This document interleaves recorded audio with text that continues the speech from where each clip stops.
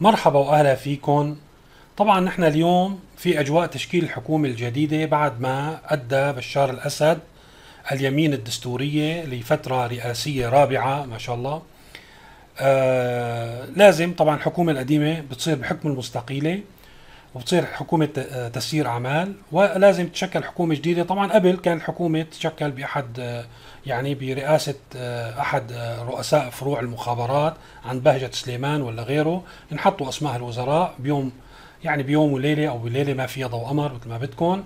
لكن اليوم الموضوع اختلف تماما وصار هذا الموضوع مهم وصار في تدخلات دولية مثل كل شيء في حياتنا السورية. صار طبعا القوتين الرئيسيتين الصديقتين للنظام السوري روسيا وإيران إلى يو إلى إلى يد وإلى دور في هذا الموضوع. لازم نفهم نحن تقاسم النفوس في موضوع الإدارة في سوريا وموضوع يعني مناطق النظام خلينا نقول. إيران هي يعني إلى النفوذ الكبير في موضوع الإدارة المدنية أي شؤون الوزارة ورئاسة مجلس الوزراء. وعرنوس آه مثل ما بعرف مدعوم من إيران ما بعرف إذا بيضل أو بيسموا شخص غيره. وطبعا بالإضافة إيران مسؤولة عن كل العمل الميليشياتي إذا صح التعبير آه، في في سوريا أو معظم هذا العمل.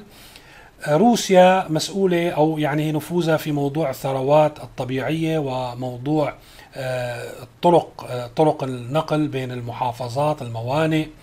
بالإضافة ل طبعا الشؤون العسكرية إلى القرار النهائي. وبالتالي في يعني معركة بين الطرفين اليوم لا تشكيل الوزارة لأن آه، صحيح نحن بنعرف الوزارة ورئيس الوزارة هو إجر كرسي ولكن هلأ الموضوع بلش يتغير شوي لأن ممكن إذا رئيس الوزراء أو أحد الوزراء أخذ تعليمات مباشرة من أحد هذول الطرفين يصير فيها وما فيها بالنسبة ل يعني التعليمات اللي بتيجي من فوق.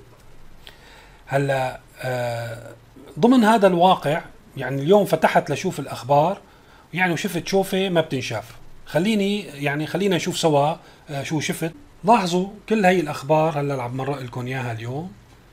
كل هدول التاب هن الأخبار تبع اليوم. خلينا نستعرضهم.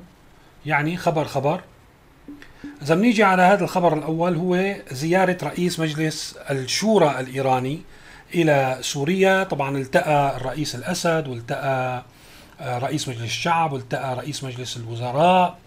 وطبعا ناقش يعني قضايا سيادية مع الرئيس وقضايا تخص العمل البرلماني وتقريبا باللقاء كان كل نائب سوري في مواجهة نائب إيراني يمكن هيك يصير ياخذ تعليماته منه. وموضوع الاقتصاد لأن كتار ما حفظتهم كتبتهم راح أقرأ لكم إياهم.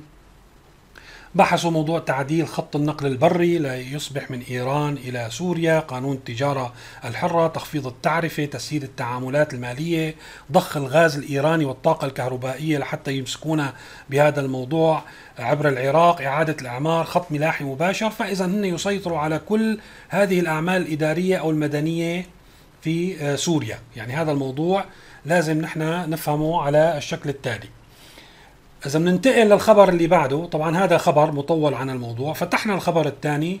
طلع لقائه مثل ما قلنا نفسه لرئيس مجلس الشورى مع رئيس مجلس الشعب. كمان التقى وعلى ما يبدو اعطاه تعليمات ويعني آه، آه، الخطوط العريضة اللي لازم يمشي فيها. لأن مثل ما حكينا بتسجيلات سابقة هالدول مع الأسف صارت يعني دول آه، يعني وصاية.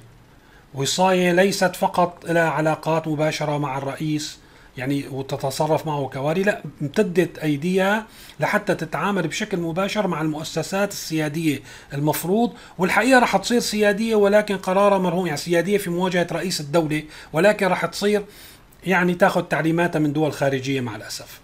الخبر الثالث فتحناه عم طلع أيضا في آه، رئيس آه، زادا يلي هو عضو مجلس الشورى لشؤون شؤون السياسة الخارجية التقى مع أعضاء مجلس الشعب آه، لجان مجلس وضعوا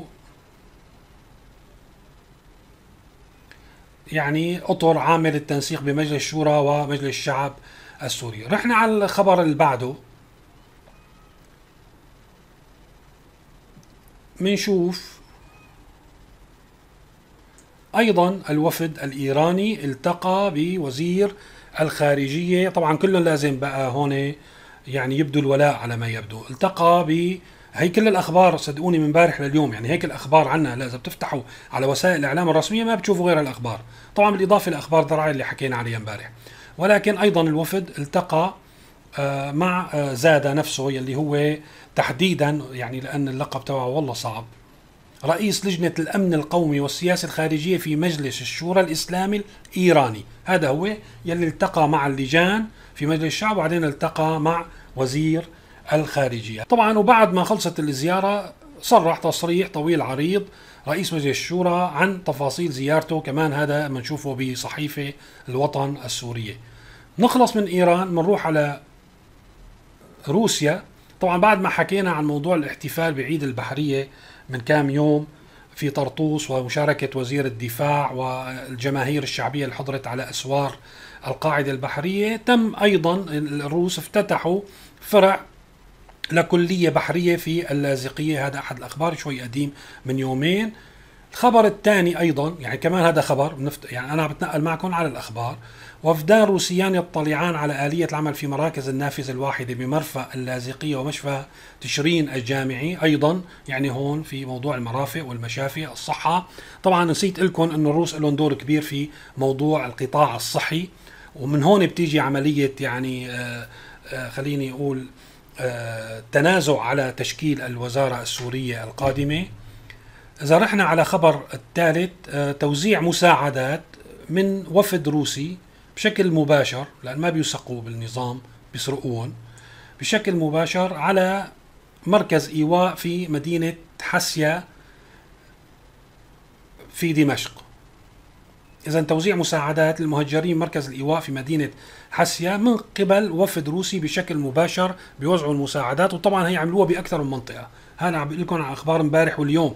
ولكن هذا الموضوع مستمر والتجمعات أمام المراكز ويعني مع الأسف هذا حال الشعب السوري بكل المناطق.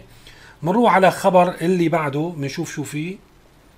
هون وفد طبي آه، روسي يزور مركز إيواء الحرجلة يلي هو أتوقع هذا يتعلق ب آه، مركز بيحتزوا فيه المريضين بكورونا. إذا رحنا للخبر اللي بعده وفد روسي يجتمع مع وفد روسي إعلامي يجتمع مع وزير الإعلام السوري. يعني ما شاء الله الوزراء ما ضل عندهم شغلة غير يجتمعوا مع الوفود الإيرانية والروسية.